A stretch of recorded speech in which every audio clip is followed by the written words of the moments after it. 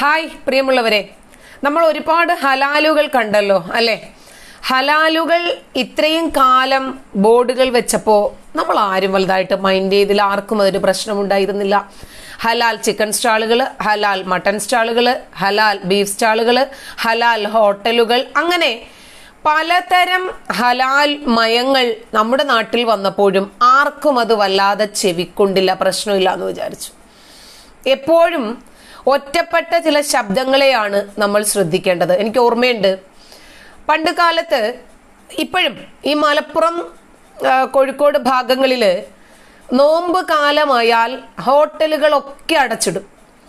യാത്രക്കാരായ ആൾക്കാർക്കും അമുസ്ലിങ്ങൾക്കും ഭക്ഷണം കഴിക്കണ്ടേ. ആ സമയത്ത് സമൂഹത്തിലെ ഭൂരിഭാ ഭൂരിപക്ഷം ആൾക്കാരുടെ വെല്ലുവിളികളെ മൈൻഡ് ചെയ്യാതെ നമ്മുടെ ചേകനൂർ മൗലവി റമലാനിന് മാത്രം ഹോട്ടലുകൾ തുറന്ന് പ്രവർത്തിപ്പിച്ച് സമൂഹത്തിൽ ഒരു നവോത്ഥാനം കൊണ്ടുവരാൻ ശ്രമിച്ച ധീരനാണ് ധീര രക്തസാക്ഷിയാണ് നമ്മുടെ ചേകനൂർ മൗലവി. എല്ലാ വിഷയത്തിലും അതെ ആരെങ്കിലുമൊക്കെ ഒന്ന് ശബ്ദിക്കണം. എന്നാൽ മാത്രമേ മറ്റ് ശബ്ദങ്ങൾ ഇങ്ങനെ താനേ ഉണ്ടാകുള്ളൂ. അദ്ദേഹം തുടങ്ങി വെച്ച നവോത്ഥാനമാണ് ഇന്ന് ഒരുപാട് യുക്തിവാദികളായി എക്സ് മുസ്ലിംസായി സ്വതന്ത്ര ചിന്തകരായി അങ്ങനെ മാറി നിൽക്കുന്നത്. അപ്പോ അങ്ങനെ ഹലാലുകൾ അങ്ങനെ തുടങ്ങിയെങ്കിലും ഇന്ന് ആ ഹലാൽ എവിടെ എത്തി നിൽക്കുന്നു എന്ന് കൂടി നമ്മൾ അറിയണം. ഹലാൽ പപ്പടങ്ങൾ വരേക്കും വന്നു. ഹലാൽ മെഡിസിനെ കഴിക്കാൻ പാടുള്ളൂ എന്ന് നമ്മുടെ സാക്കർ നായിക്കിനെ പോലെയുള്ള പ്രഗത്ഭരായ പണ്ഡിതന്മാർ ഗവേഷകർ മുന്നറിയിപ്പ് നൽകി. ഓണം ഓണസദ്യ കഴിക്കരുത് ക്രിസ്മസിന് സദ്യ കഴിക്കരുത് പള്ളികൾക്കോ അമ്പലങ്ങൾക്കോ ചർച്ചുകൾക്കോ ഒന്നും ഒരു രൂപയും കൊടുക്കരുത്. നമ്മൾ അങ്ങനെ കൊടുക്കുന്നതിനേക്കാൾ നല്ലത് വേശ്യാലയങ്ങൾക്ക് കൊടുക്കുന്നതാണ്. തുടങ്ങിയ ഒരുപാട് വിഷപ്രസംഗങ്ങൾ നമ്മൾ കേൾക്കുകയുണ്ടായി.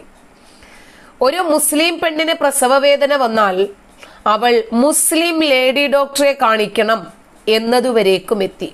ഇപ്പോൾ അതിനൊക്കെ ഏതാണ്ടൊരു സമാധാനം ഒരു ശമനമായിക്കൊണ്ട് കണ്ണൂർ ഇതാ മുസ്ലിങ്ങൾക്കായി മുസ്ലിം സ്ത്രീകൾക്കായി പ്രസവിക്കാൻ ഒരു സുവർണ അവസരം ഒരുക്കിയിരിക്കുന്നു അത് വെളിപ്പെടുത്തുന്നത് ഒരു ഉസ്താദ് തന്നെയാണ്.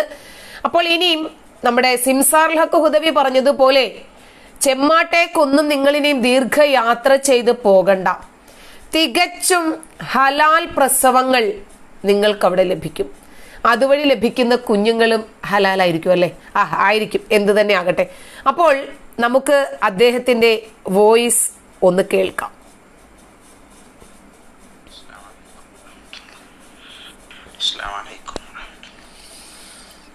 തളിപ്പറമ്പിലെ ഹോസ്പിറ്റൽ. ഭാഗികമായി ആരംഭിച്ചു. ഏപ്രിൽ പത്താം തീയതി പൂർണമായിട്ട് ആരംഭിക്കാനിരിക്കുന്നു. മുമ്പ് സഹകരണ ഹോസ്പിറ്റൽ ഉണ്ടായ സ്ഥലത്താണ് ഇപ്പോൾ നടക്കുന്നത്. വലിയ വിശാലമായ ഹോസ്പിറ്റലാണ്. അപ്പോൾ പ്രസവമാണ് മെയിൻ പിന്നെ ഗൈനക്കോളജിക്കൽ വിഭാഗം. പിന്നെ ഇസ്ലാമിക അന്തരീക്ഷത്തിൽ ഇസ്ലാമിന്റെ എല്ലാ ചിട്ടകളും പാലിച്ചുകൊണ്ടാണ് പിന്നെ പ്രസവം നടക്കുക. അഥവാ ബാങ്ക് കൊടുക്കാനും പിന്നെ അതേപോലെ പ്രസവത്തിന്റെ ഒരു ദിവസം മുന്നേ അഡ്മിറ്റ് ചെയ്ത് ഒരു ഈ പ്രസവ ഗർഭിണികളായ ആളുകൾക്ക് ഇരിക്കാൻ വേണ്ടി മാത്രം ഒരു കുഷ്യനോട് കൂടിയ വലിയ സോഫയൊക്കെ ഇട്ടിട്ട് ഒരു റൂമുണ്ട് അവിടെ നിന്ന് നഫീസത്ത് മാല ഇങ്ങനെ രണ്ട് മൂന്ന് പെൺകുട്ടികൾ പിന്നെ ഇങ്ങനെ ചൊല്ലിക്കൊണ്ടേയിരിക്കും. അതിങ്ങനെ കേട്ടിട്ട് എന്താവാ? പ്രസവ പ്രസവിക്കുക ആ രൂപത്തിൽ. അപ്പോൾ ഒരു ആത്മീയ അന്തരീക്ഷത്തിലാണ് എന്നർത്ഥം.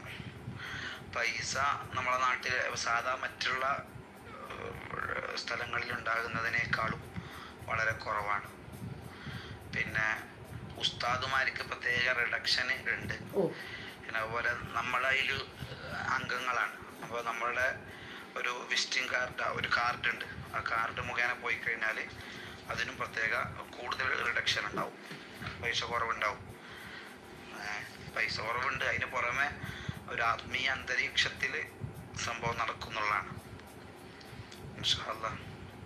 പിന്നെ നമ്മൾ കുട്ടി ദുനിയാവിലേക്ക് ആദ്യമായിട്ട് വരുമ്പോ എന്തായാലും ഈമാനിന്റെ ഒരു പ്രത്യേകത ഉണ്ടല്ലോ. ഒരു നല്ല മുസ്ലിമായ ബാക്കിയുള്ള എന്ത് മാനസികത്തിയാണെങ്കിലും ഈമാന് ഉണ്ടാകുക എന്നുള്ളത് പ്രത്യേകത തന്നെയല്ലേ? മുസ്ലിമായ ഒരാൾ എടുക്കുക എന്നുള്ളത്. പിന്നെ ഒരു ഫാത്തിമ എന്ന് പറഞ്ഞ ഡോക്ടറാണ്. പത്ത് പതിമൂന്ന് വർഷത്തെ സർവീസ് ഉണ്ട്. പിന്നെ ബാക്കി സംവിധാനങ്ങളൊക്കെ ഉണ്ട്. പിന്നെ സ്കാനിങ് ബാക്കിയുള്ളതെല്ലാം എന്താണ്? പിന്നെ സ്ത്രീകളാണ്. അപ്പോൾ ഹറാമി ഹറാമായ കാര്യങ്ങളൊന്നും എന്താകുന്നില്ല തീരെ കടന്നു വരണില്ല. പിന്നെ ഇൻഷാല്ല പിന്നെ കൂടുതൽ സ്കാനിങ്ങിന് പറയാ ഗുളിക വേണ്ടാത്ത ഗുളികകൾ അത് ഇതൊന്നും ഉണ്ടാവില്ല.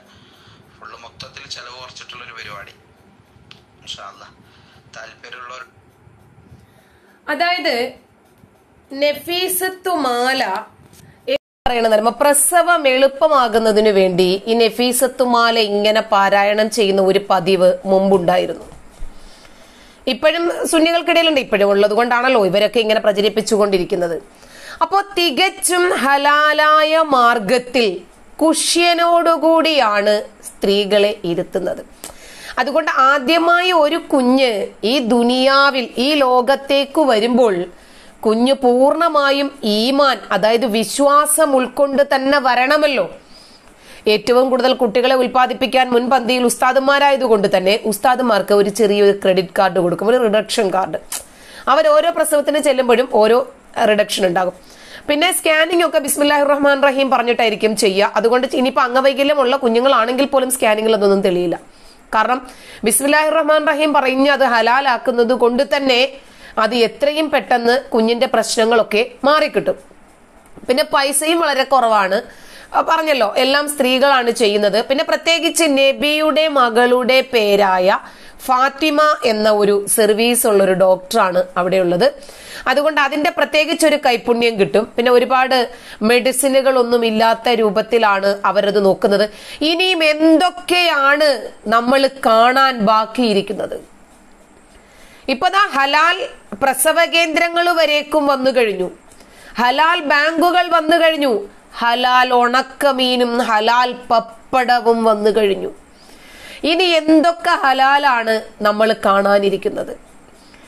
നമ്മുടെ ഏതെങ്കിലും ചടങ്ങുകൾക്ക് മുസ്ലിങ്ങൾ ആരെങ്കിലുമാണ് ഭക്ഷണം ഉണ്ടാക്കുന്നതെങ്കിൽ അവർ തുപ്പി തുപ്പി ഹലാലാക്കുന്ന രീതിയും കണ്ടു കഴിഞ്ഞു. ഞാൻ ഒരു റൊട്ടി തുപ്പുന്ന വീഡിയോ വെച്ച് ചെയ്തപ്പോഴേക്ക് റഫീഖ് സലഫി വന്ന് ഘോര ഘോരം വിമർശിച്ചു അത്രേ. ഞാൻ ഇതുവരെയൊക്കെ ആ വീഡിയോ കണ്ടില്ല അതുകൊണ്ടാണ് ഞാനത് ചെയ്യാത്തത്. അപ്പോ ഇദ്ദേഹം ഇത്രയ്ക്കും വിമർശിക്കാൻ എന്തിരിക്കുന്നു എന്ന് എനിക്കറിയില്ല. അദ്ദേഹം എന്താണ് പറഞ്ഞതെന്ന് എനിക്കറിയില്ല. കാരണം ഇപ്പോ റൊട്ടിയിൽ തുപ്പിയ ഒരുപാട് പേരെ ഇപ്പൊ അറസ്റ്റ് ചെയ്തില്ലേ? ഒരുപാട് പേരെ.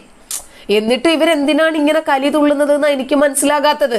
സ്പഷ്ടമായി നമ്മുടെ നേർക്കുനേരെ കാണുന്ന കാഴ്ചകളാണ് ഇതെല്ലാം അപ്പോൾ ഇനി സമാധാനിക്കാം. ഇനി അടുത്ത ഒരു ജനറേഷൻ വരുന്ന മുസ്ലിം മക്കളൊന്നും ഹറാമായ മാർഗത്തിലേക്ക് പോകില്ല. കാരണം അവർ ഹലാലായ മാർഗത്തിലൂടെയാണല്ലോ വരുന്നത്. ഈ ഹലാൽ ഹോസ്പിറ്റലുകളിലൂടെയാണല്ലോ വരുന്നത്. അതുകൊണ്ട് തന്നെ അവർക്കതൊന്നും ഉണ്ടാകില്ല. ഇനിയും സ്വതന്ത്ര ചിന്തകർ ഏതാണ്ട് ഈ കാലഘട്ടത്തോടു കൂടി അവസാനിക്കുന്നു. എന്നൊക്കെ വേണമെങ്കിൽ നമുക്കൊന്ന് വിചാരിക്കാമല്ലോ അവരൊന്ന് തള്ളിക്കോട്ടെ കുഴപ്പമില്ല. ഏ? അപ്പോൾ ഇനിയും എന്തെല്ലാം ഹലാലുകളാണ് വരാനിരിക്കുന്നത് എന്ന് നമുക്ക് നോക്കേണ്ടിയിരിക്കുന്നു.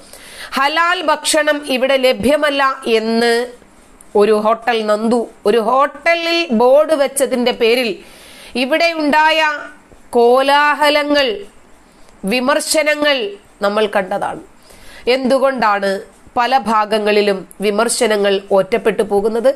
പല വിഷയങ്ങളും പലർക്കും വളരെ വ്യക്തമായി അറിയാമെങ്കിലും എതിർകക്ഷികൾ ഞമ്മന്റെ ആൾക്കാരായതുകൊണ്ടും അവർ സമാധാന പ്രിയരായതുകൊണ്ടും ഇവർ സമാധാനവും സംയമനം പാലിക്കുകയാണ് എന്ന് നമുക്കറിയാം. പിന്നെ അത്തരത്തിൽ ഒരാളെയും തൃപ്തിപ്പെടുത്തേണ്ടുന്ന കാര്യം എനിക്കില്ലാത്തതുകൊണ്ട് കണ്ടത് കണ്ടതുപോലെ പറയുക തന്നെ ചെയ്യും. നന്ദി.